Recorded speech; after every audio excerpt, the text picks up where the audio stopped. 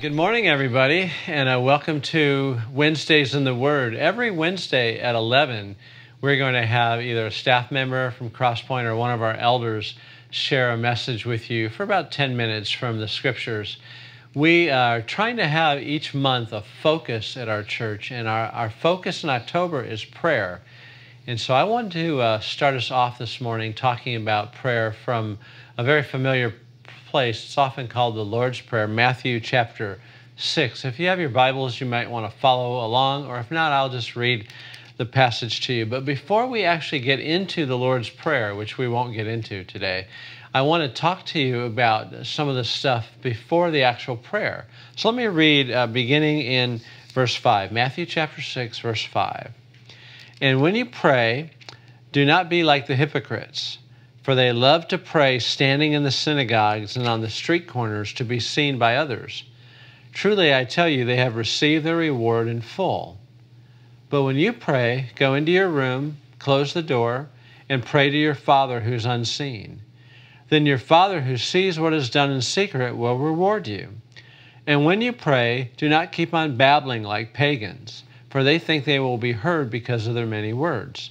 Do not be like them for your Father knows what you need before you ask Him. So let's put this in context just for a moment. This is the Sermon on the Mount. And in chapter 6, Jesus begins teaching about some, some disciplines, some spiritual disciplines that people were already doing. And he was telling them to, how to do it. For example, if you look at verse 2, so when you give to the needy, and he talks to them about how to give. And Verse 5, when you pray, and then he talks to them about how to pray. And then in verse 16, when you fast, uh, he talks to them about how to fast. So in each of these cases, Jesus is assuming that the original audience was doing these things. They were giving, they were praying, they were fasting.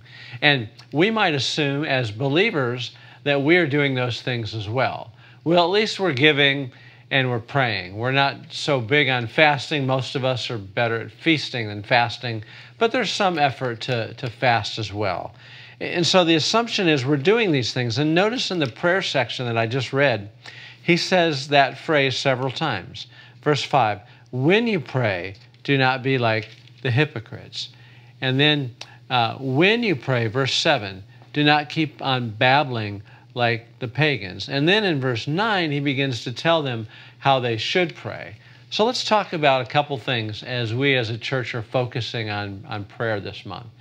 It's really important, I believe, for every believer to have an active and growing prayer life. However, if you, however, if you were to survey 100 of us believers, you'd find that most of us would say that our prayer life is not super fulfilling. We're not very disciplined at it. Our mind wanders a lot. Uh, we don't know what to pray about. We struggle with prayer a lot.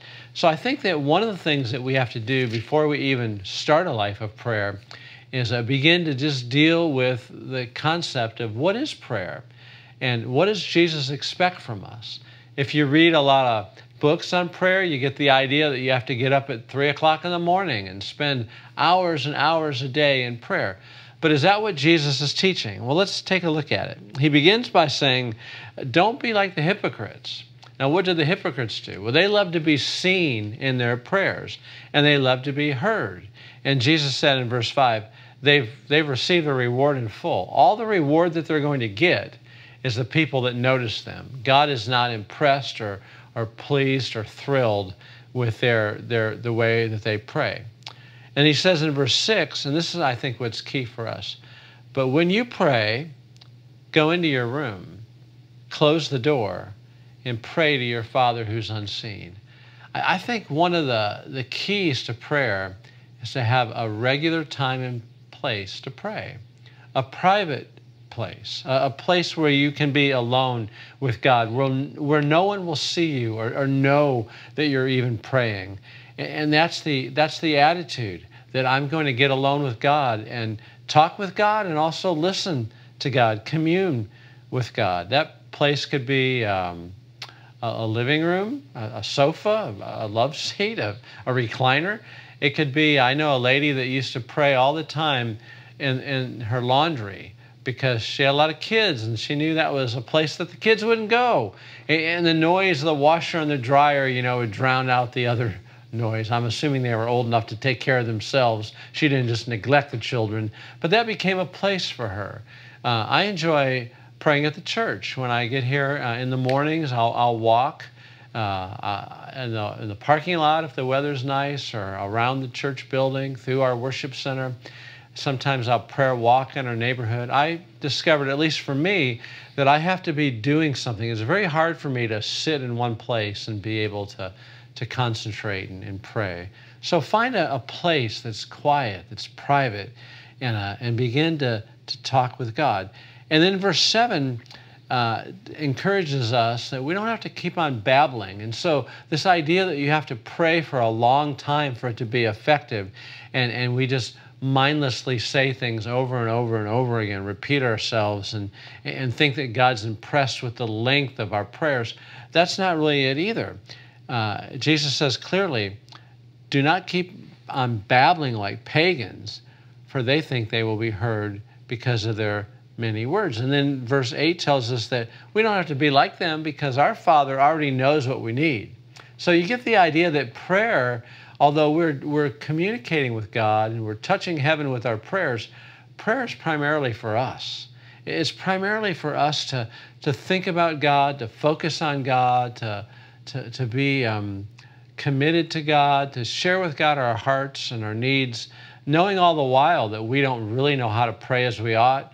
Uh, one of our staff is going to talk about Romans 8 26 later on, that the Holy Spirit uh, prays for us with sighs and groans too deep for words. So we don't really know how to pray, but you can make a prayer list and, and you can begin by uh, praising God and repenting of your sins. We use this little pray acronym praise God, repent of your sins, ask of God, and yield to God. That's a, a simple way to pray. So, so prayer is a, in some ways, is powerful. Like, I don't necessarily agree that people say, well, there's power in prayer. Well, there's power in God. And, and the way that we connect with God is through prayer. The way we express love to God is through prayer. The way we confess our sins is through prayer. The way we ask for God's will to be done and His name to be glorified is through prayer. When we need direction and we need guidance and insight, we, we ask God for it. And God loves to give to us in prayer. So, the one thing I'd like for you to think about doing this week is just to begin, if you don't already have a good habit, begin to, to set aside a daily time and place for prayer. And, and you don't even have to be legalistic about the time. I mean, your time might just be sometime in the morning or sometime at night or sometime in the middle of the day. That in your mind or on your calendar, I think it helps for a while to schedule this. You have set aside a time and a place to get alone with God. And don't feel like you have to be there for hours. Uh, just talk to Him and, and think through this acronym of praise Him first, uh, repent second, ask third, yield fourth, and you're done.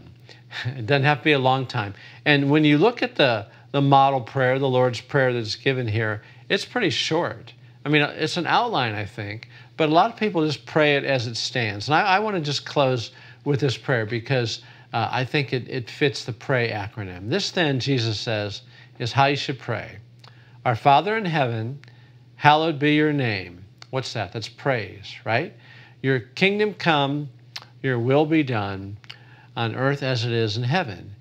Give us today our daily bread and forgive us our sins as we've also forgiven those that sin against us. And lead us not into temptation, but deliver us from the evil one. For if you forgive other people when they sin against you, your heavenly Father will also forgive you.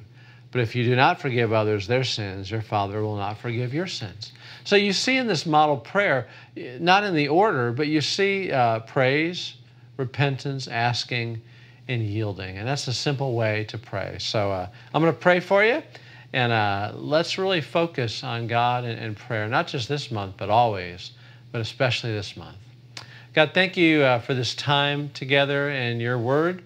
Help us to be a people of prayer Lord, to cultivate a, a heart to want to know you and to, to have the discipline just to set aside the time and be consistent seeking your face. Lord, we love you and uh, we thank you for the privilege and the honor that prayer is, that you've told us we can come boldly to the throne of grace and that we'll receive uh, help in our time of need. So thank you for that honor, that privilege. But God, be glorified, I pray, in our lives. In Jesus' name.